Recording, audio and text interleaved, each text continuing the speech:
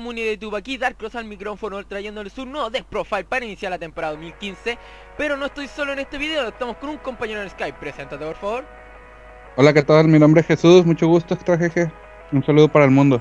Muy bien, hoy día les tenemos el mazo Novel Knight, un mazo que obviamente no va a faltar el comentario y decir oh, los Novel Knight no tupean, los Novel son caca, y etcétera, etcétera, etcétera. Antes de empezar el video los voy a pedir que se reserven esos comentarios y comenten cosas constructivas sobre el video bueno, como el mazo lo armamos en conjunto, voy a dejar más que nada a mi compañero Víctor, o Jesús, como quieran decirle, ya que él es el, experto en estos monstruos.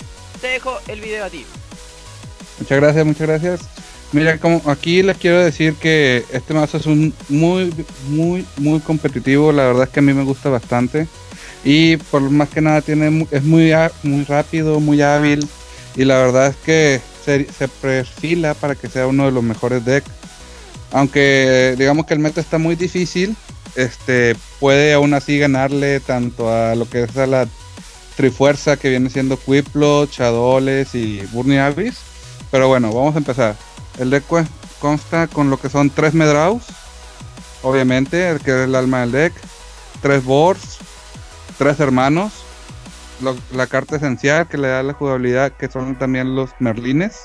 Aquí llegamos la tercia de Merlines Vamos a usar lo que son dos señoritas. Estas señoritas son la alma también del deck. Sin ellas no se podría hacer nada. Tenemos un bonito Dristan. Y más que nada, el Dristan es para darle versatilidad, para que tengan los tres. Aquí también, este, nomás usamos uno, porque en sí, esto nos ayuda para protegerlos y para dar mucha ventaja, pero la verdad es que, digo, con uno es suficiente. Lo que usamos también es el Foolish para las armas. Este mono nuevo, digámoslo así. Este no es muy hábil, pero sí te da mucha facilidad para poder sacar a la señorita rápido. Así que también es una arma muy usable. Tenemos el de 1009 normal para que baje con las vainillas especial para el OTK. Y ya lo que viene siendo el señor güero de escudo fuerte que nos ayuda a reciclar los nobles. Y para finalizar, pues tenemos un desconocido, que es el tuner, este, que se me hizo mucho mejor tuner para poder este darle para poder sacar aquí directamente el ignoble caballero mucho más rápido. Que estos serían todos los 19 monstruos que lleva el deck. Bien, como dijo mi compañero, obviamente los 3 Medrouts y los 3 Boards, ya que estos son el como principal del mazo para partir muy fuerte el duelo. Los Brothers le dan la total versatilidad al mazo, lo cual nos deja reciclar, porque su efecto nos deja recuperar hasta 3 cartas, digo, 3 cartas en nuestro cementerio, que sean Noble Arms y o Noble Knights. Muy bien, los Merlines son para traer a Medraut rápidamente, son casi, son unas rotas pues, si quieren verlo de ese sentido. Las damas o Game Frey, como quieran, como se diga, es un equipo más. Así que mientras más equipo este mazo tiene la probabilidad de hacer combo más rápido. Obviamente no nos sirve tanto como una Galatin, una Destiny con Medraut al inicio, ya que esta no revive. Eh, el Gateway es para hacer combo, simplemente para hacer rápido exit, Tristan para tener control de campo, eh, Bedwir es un Polish y Golchava es para recuperar, no sé, un Gateway y hacer combo no. La tech del mazo, que a mí me sorprendió también, verla en el mazo de Víctor fue el 1 Synchro y tiene bastante razón ya que es un monstruo fácil de bajar y rápido de usar para hacer el Synchronian que usamos en el mazo que sería el Novel Knight, Knight of, Knight of High Lansley algo así se dice, no me acuerdo, muy bien. Pero esos son los 19 monstruos, vamos con los 18 hechizos, de nuevo te dejo el video a ti. Muchas gracias, bueno aquí vamos a ver, tenemos aquí dos Destinies, obviamente Destiny es uno de los más usados tenemos también dos Excalibur, una poderosa Galletín que nos sirve para darle poder a nuestro noble, lo que es una Calibur y por último contamos con lo que es un Alfredit.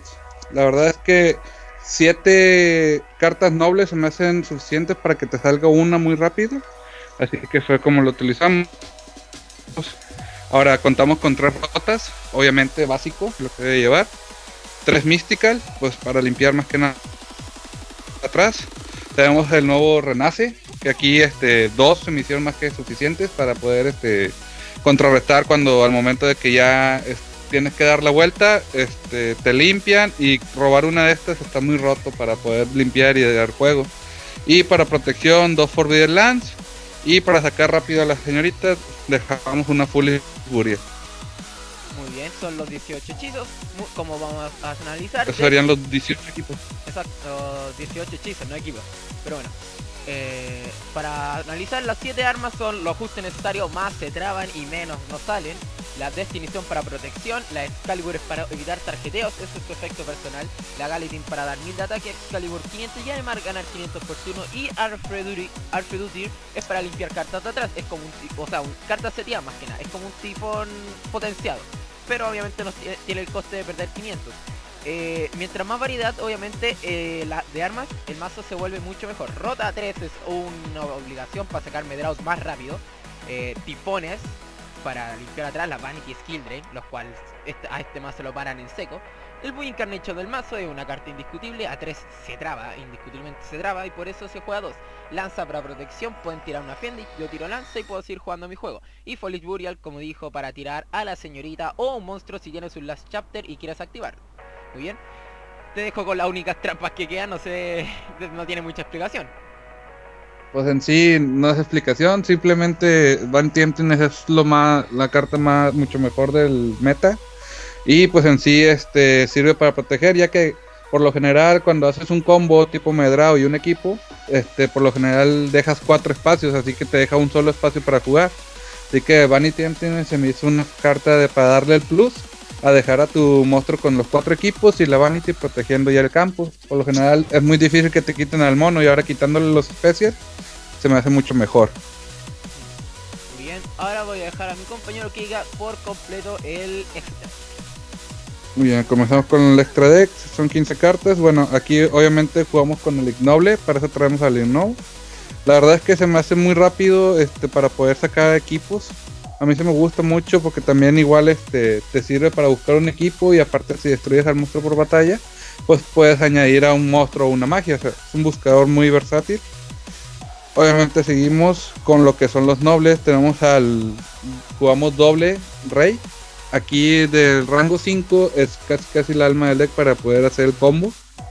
También jugamos dos de lo que son los de nivel 4. Por lo general, al de 4 buscamos sacarlo con lo que es el Excalibur.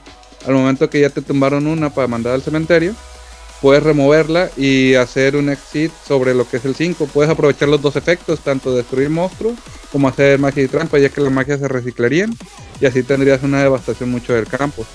Esos son más que nada los combos con lo que es el de nivel 4 y el nivel 5 de los reyes. Y pues digamos, ya normales, staples, digamos que viene siendo la, lo que es la 101, el arca.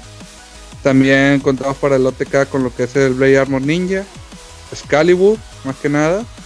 También este prefiero meterle lo que viene siendo un dragoncito para poder pegar directo o igualmente cuando tienes un monstruo con equipos, este ya lo hacen interjeteable y ya no te lo pueden atacar y son 4000 de daño casi seguros. El mejor exit también es el Castle que te ayuda a limpiar. Muchas veces este podemos sacar a Paladínamo. Paladínamo este, también es un monstruo muy rota. Pero no mucho mejor que lo que es el Exiton. El Exiton te da muchos juegos, te hace limpiar y lo puedes sacar muy rápido. También este como soporte este quise meter este bullín para poder robar dos en dado caso que te, que te toque una mala mano. Puede este, darte mucha jugabilidad. Un Laval Chain igual para poder más que nada sacar la señorita o si ya sabes que te van a tumbar a los Lexit y juegas una Wii Incarnation ahí de los nobles. Con esto lo puedes revivir muy fácilmente.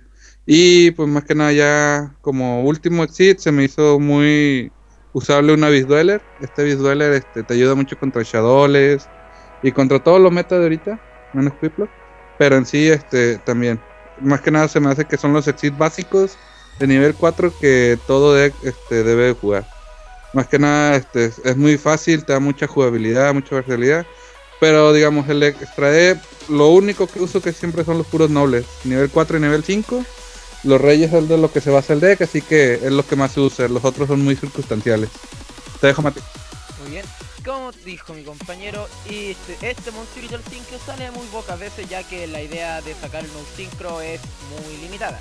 Eh, lo que más se juega como si fuera eh, asimilémoslo al Bullin, eh, serían los monstruos, los exits del arquetipo, en este caso son los nobles, en el del Bullin serían los Susanos. En una asimilación, vamos que nada.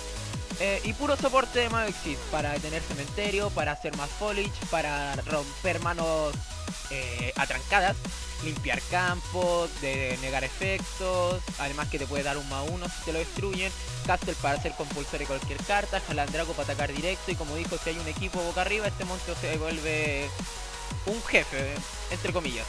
Excalibur es un monstruo que se puede volver a hacer muy cerdo, ya que o ataca 4000 más que le puedes poner algunos equipos y puede llegar a atacar más. Este monstruo es uno de los principales monstruos que quieres bajar si te tiran un killer, ya que es uno de los pocos que se los puede sacar en el mazo. Eh, además de un monstruo como este, lleno de equipos. 101 eh, para eh, un monstruo excelente, aunque fue reemplazado un poco por el Castle. Y Blade Armor Ninja para terminar un OTK. chicos, como yo siempre les digo, el side es a selección porque el side siempre va a depender del campeonato, de los eventos, del país donde jueguen, etcétera incluso el formato o lista que estén jugando. Así que por eso el deck siempre se los voy a dejar a ustedes. Em, el mazo consta de 19 monstruos, 18 hechizos y 3 trampas, un extra de 14 exit y un 5. Muy bien. Eh, ¿Algo que agregar, compañero?